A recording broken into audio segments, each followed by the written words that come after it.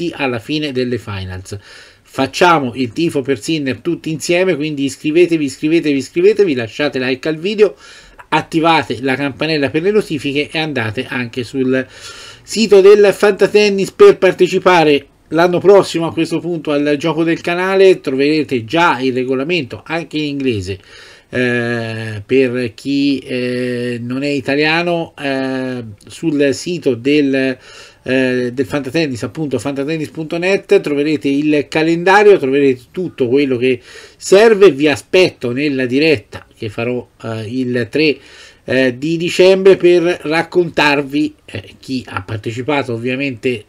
eh, già sa e, poco è cambiato rispetto allo scorso anno, ma i nuovi arrivati potranno chiedermi tutto in chat, potranno, eh, potranno togliersi ogni tipo di dubbio nella diretta del 3 di dicembre, orario ovviamente ancora da definire, vi farò sapere eh, più in qua. Sono in corso per il Fantasy Tennis le Finals, quindi in bocca al lupo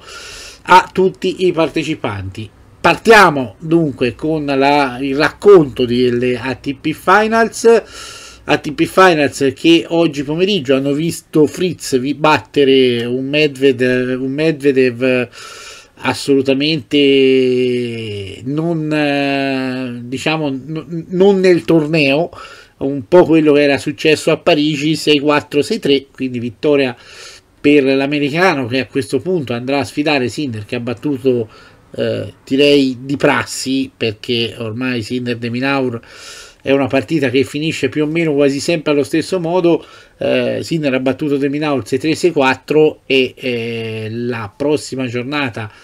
del gruppo A o gruppo Sinner o gruppo ora non mi ricordo il tennista eh, che è assegnato al gruppo A nel senso quello che, con cui viene chiamato il gruppo A. Mm, la prossima giornata sarà eh, la sfida fra i due perdenti, quindi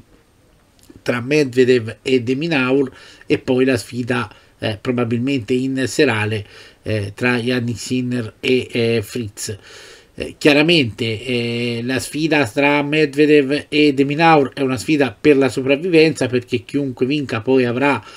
la possibilità di, eh, nel caso di Deminaur, di trovare Fritz, nel caso di Sinner di trovare Medvedev,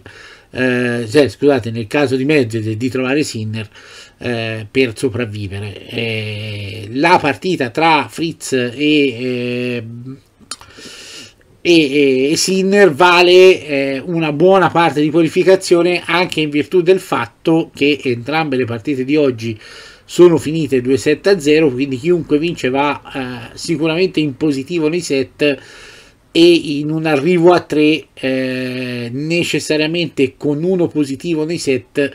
eh, serve uno negativo cioè non, non, non, esiste che tutti e tre eh, sì esiste tutti e tre ma nella classifica vulsa poi eh, ci sarebbe eh, diciamo che per andare tutte e tre positivo bisognerebbe che eh, si incastrassero dei risultati abbastanza particolari. Eh, chi vince tra eh, Sinner e, Demi, e, mm, e, Fritz e dovesse vincere anche 2-7 a 1 andrebbe a 3 set a 4 set vinti 1 perso eh, potrebbe finire massimo 4-3 eh, considerando che eh, chi può fare benissimo può finire 4-2 eh, ma per finire 4-2 deve vincere 2-7-0 eh, entrambe le partite eh, insomma mh, mm, viene da pensare che eh, chi vince tra, tra, tra Sinner e Fritz abbia mm, anche se non è vero perché teoricamente può succedere di nuovo ma insomma un piede e mezzo in, in semifinale. Quindi eh, martedì, perché queste partite si giocheranno di martedì, è una giornata campale per quanto riguarda questo girone, domani inizia il, il, gruppo, il gruppo B, il gruppo Zerev, eh, con, ehm, con, i primi, con i primi match, ovvero con Zerev che affronterà eh, Rublev e, eh, e Alcaraz che eh, troverà, um, troverà Rud Alcaraz Rud sarà la partita pomeridiana, sarà la partita delle 14. Zerev Rublev sarà la partita delle 18, eh, sì, scusate, delle 20, delle 20 e 30. Eh, alle 18 c'è il doppio più o meno. Eh, in realtà credo 18 e 30 il doppio, 19, non, ora non ricordo l'orario, ma insomma la partita in serale sarà uh, Zerev Rubel, la partita in pomeridiano, che poi l'orario ovviamente dipenderà anche dal doppio, anche se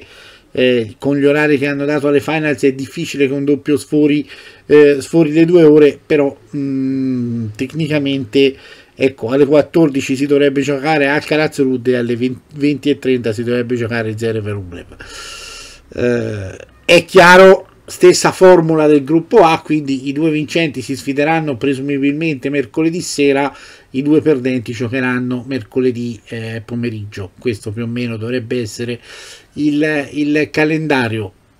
Ovvio che sono favoriti eh, sia Zerev che Alcaraz, Alcaraz più favorito di Zerev, nel senso che è un po' più probabile veder vincere Rublev contro Zerev di quanto non lo sia veder vincere Rud contro Alcaraz eh, e eh, chiaramente arrivare primi in questo girone eh, mentre nel girone di Sinner arrivare primi o secondi comunque eh, becchi eh, una semifinale piuttosto complicata qua arrivare primi, primi o secondi cambia perché eh, insomma la vittoria di Fritz per 2 0 su Medvedev probabilmente toglie eh, toglie dai giochi o, o, rende molto complicata la qualificazione di Dani alle semifinali e quindi il vincitore del, eh, del girone presumibilmente, almeno che non succeda un, una catastrofe eh, che Sinner perda da, da, da Fritz eh, martedì sera, cosa che può starci, ma insomma anche la finale degli US Open ha fatto vedere che c'è un buon margine tra eh, tra Sinner e Fritz. Non, il campo probabilmente anche più lento svantaggia ancora di più l'americano. Eh, il campo che eh, a detta di Sinner è più lento di quello dell'anno scorso e quindi eh, diciamo che vincere il girone nel gruppo di Zerev serve ad evitare presumibilmente Sinner in semifinale è il problema de, de, del tabellone di Sinner che è più complicato perché Sinner comunque passa per pre- molto probabilmente salvo uh, un, salvo Umbertate nel senso eh, che un Alcaraz non inciampi come, come è inciampato a Parigi Berzi contro Umbert eh, presumibilmente la semifinale del vincitore del girone di Sinner è una semifinale più complicata. È chiaro che è più complicata non vuol dire eh, che Sinner non può vincere, Sinner parte nettamente favorito in questo torneo e tutti noi ci auguriamo di poter festeggiare domenica